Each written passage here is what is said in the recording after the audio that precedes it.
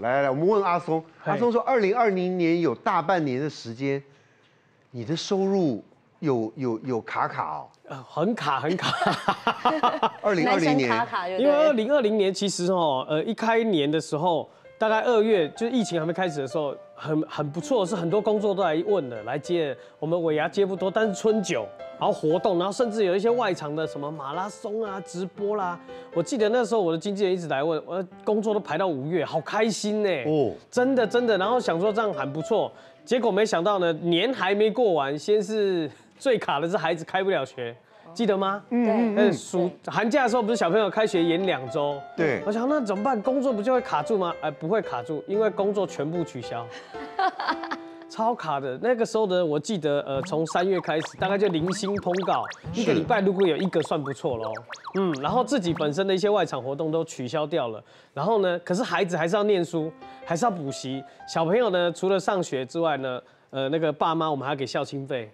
对，然后我自己本身也有开店嘛，本来想说还可以从店面那边怎么样，然后呃，一年我们会发一次大家股东的分红，是，就没想到疫情开始，网络上大家开始在购买，然后呢，店呃路上都没有人，对，其实做餐厅啊，什么老板很可怜，很可怜，哎，你薪水要照样发。房租也要给，薪水也要给，然后呢，重点是我们还希望说不要关任何一家店，因为你一关店，那员工就失业了。对你一关店，员工失业，他们家孩子贷款啊，什么东西学都没啦，都付不出来了。是，所以那个时候呢，就想说，那先不要发鼓励，还好没有发，那个钱就是一直不断的去支付各个店面的支出。对，然后呢，我一直记得四月底的时候，还跟我老婆开口说，哎，我那个零星的通告啊，拿来的钱啊，就是家里这样用就用完了，可是还是譬如说保单来的时候没有钱，唉，然后呢，贷款还有我们没有房贷，但我们有车贷啊，然后还有校庆费，我就说，哎，可以跟我老婆肩挡一点来用吗？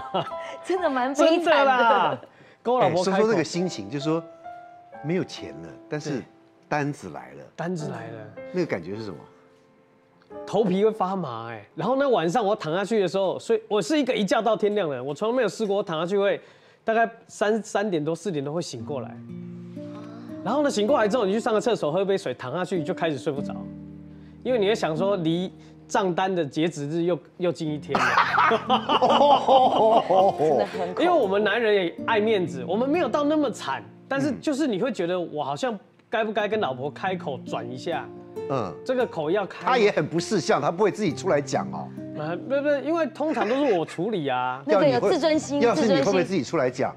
嗯，老实讲，我也不会。对不对？是自尊心问题，赌了一个。对。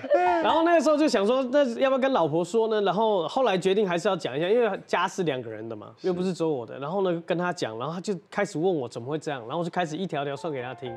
真的，过年前的那一笔收入，大概三月、四月就用的差不多了。然后我们就开始就是每个月就开始来算啊，你这一个月支出啊，哦，保险又到了啊，小朋友的医疗两万多块啊，然后然后爸妈的孝亲费啊一万多块、两万多块，然后呢这个月的车贷一万多块，哇。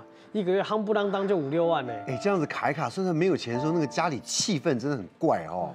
不会怪啊，老的去就我老婆嘛，就去上班嘛。我老婆是 在在上班族的，然后两个孩子去去去上课，我一个人就是不出门，不出门就不用花钱呐，在家里就是看电视、喝开水、喝自己家里泡的咖啡。哦，气氛不怪，但是我发现一件事，人会失智。嗯嗯，你会觉得我好像养不起这个家，是什么心情？就是自我怀疑，我是不是除了这件事情之外，好像没有别的事情可以做了？是不是？是不是好像我除了这件事之外，我没有在行的了吗？然后刚刚那个时候又很。因为屋漏偏逢连夜雨的是那个，呃，我不是一帮人家配音吗？那个时候其实节目配音啊，钱是还没有进来的，嗯，而且呢，又经历了一整年，那个配音那个节目是停掉的，大家可能知道或者不知道，所以那个时候其实连基本的收入是保障都没有了，对，心里是会慌的，哎，尤其男人压力也很大，对啊，那男人。要不然就是说，哦，赶快自己找事情做，跟自己赶快到处外面动。要不然就是男人，男人自尊心放不下，然后在那边摆臭脸，然后谁也不敢碰他。你要是一问说，呃，我们这个，你不知道你被谁啊？哪呀？对不对？赌林哥，这是一种，我是另外一个，我会觉得我好像没有帮到家里什么忙，在家里开始你知道吗？洒扫进退，然后洗衣服啊、晒衣服啊，哦你是赶快自己找事做啦，找事情做，不然会东想西想。所以后啊来你去跟土地公公拜拜，对，我觉得这个好悬哦，这个要跟大家分享一下，就是大概到六月的时候，我觉得受不了，已经两个月了，那这样下去不行。然后呢，六月初的时候，我就去跟我们家旁边的土地公庙，就在我们家旁边，真的每天走路都经过，我就跟土地公伯伯问，就拜完拜之后呢，然后。添了一点点香油钱，这一点点的，然后跟土地公伯伯说：“我请问一下，这个状况能够让我好好的支付家里所有的费用，然后甚至有些那个盈余的状况，什么时候会来临？这个窘境什么时候会结束？”结果呢，就跟哎，这时候都不是拜说我要什么时候发大财啊，不不不愿望其实都已经很平实了。对对对对，然后呢就把杯，然后就抽了一支签，结果它上面竟然讲到的是什么？等到一轮明月当空的时候，哦，这个福禄富贵天自来啊！我说一轮明月当空，我就去查一下，八月十五，很久哎，去年的八月十五是十月，国历十月，我六月。哦，可是我说真的，跟那个土地公伯伯拜完拜之后，开始心情放下了，心情放下，因为好像他就告诉你有一个东西在那边，你不要再去求了。嗯，时间到了，迎刃而解。那你就是能够吃多少用多少，我们省着点过。然后呢，跟老婆就开始就把话讲开，哎，心情真的好很多，就好像有一个寄托，有一个定心锚定在那边，是就不会再想。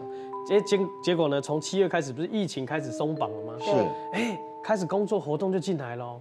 然后呢，十月的时候，国历十月的时候开始，之前配音的钱就开始进账。哦，哦，然后呢，七月、八月的时候，我跟那个美秀姐主持那个台语台的节目嘛，是也是从九月、十月开始进账。我就哇，土地公伯伯太准了，感谢土地公伯还波比好奶在平安过日，安尼吼，真的是真的，所以说啊，真的人不要失智了，哦不要失智有时候呃拜拜啊，求一个这个定心啊。嗯，不是说还好，你的副业虽然有点辛苦，包子店，但是是有赚钱的。有有赚钱。因为那个时候我的合伙人有跟我讨论到这件事，我们不把店关掉，但是我们也不能就这样傻在那边。嗯，我们还是要做一些小小的转变。所以呢，我们大概从国历四月的时候，我们就开始开一些小的街边店，大概两个槟榔摊大小的包子店。就是你也没得地方坐，你也没得地方挑，你进来看完那个冰柜的东西，买你买了就走。哎，这种街边店，然后我们尽量开在譬如说新北市啊、桃园，就让那些人不出来逛街，他不来台北，他也买得到。哎，想不到街边小店竟然是获利比较高的，哦，哎，因为它的流动率、周转率很快，然后店租会便宜。然后第二方面是我们本来在疫情时间，大家都想说，哎，送包子，包子不是可以做冷冻宅配吗？大家不是都是买宅配，对应该会生意好。结果嘞，我们只好了一个月，因为包子太大颗。你家买个三颗包子可以接受，对不对？买十颗包子，我想应该没有人冰得下。对啊，冰柜都放不下。一个包子就是一个拳头大，十个拳头，那包子就把你的冰柜塞满了。然后呢，一个月好了一个月之后呢，我们包子的冷冻的那个销量又掉下来。然后我的跟我的合伙人就开始在想，那我们可以做些什么？就发现，呃，有一阵子大家很流行在，大家都在出水饺，可是疫情开始之后就没有人再出了，反而大家开始在卖那个面。嗯，哎，那我们就来做那个水饺，因为我们家的那个我的合伙人他对于面皮类非常有研究。哦，饺子好不好吃，面皮很重要。对，它的面皮就是你烫的时候会那个皮你咬起来是有咬劲，但是不会烂。然后呢，冷的时候吃起来要 Q。哦，，对，后来呢，我们就找到了这个，来，请问哎，冷冻水饺怎么煮？哦冷冻水饺有两种哦。哎哎，先讲第一个，如果你呢是呃不是冷冻，你已经先放到冷藏了，它已经不是冻着的，或是你是市场买回来的，你才刚放冷藏的，这种煮法呢就是水滚了才放下去。但如果是冷冻的水饺，嗯，请你从水是没有滚的状态就丢下去一起，让它跟着水慢慢煮到滚。大家真的我在听有这种各种不同的煮法，真的吗？我一直认为水要滚之后再放水饺，不是吗？那是常温的或者是冷藏出来的。对对对对。但冷冻的不一样。冷冻呢，水没滚，冷的水你就把水饺丢下去，因为水饺的馅儿跟皮呀、它的膨胀率是不一样的。你如果是温水、冷水煮水饺，它的膨胀会慢慢慢慢达到一致。那如果你是滚水就煮的时候，很容易皮就破了，里面还是硬的各位观众，你们家是怎么煮冷冻水饺的？这很重要哦欢迎上我们蜜好玩粉丝团，对不对？让我们知道一下。而且我们冷冻水饺后来是去去了便利商店，嗯嗯，哎，夯不啷当，我们大概蛮晚蛮晚上市，结果两个月也卖了一万包，哎，哇不错不错还。可以，还可以，还可以。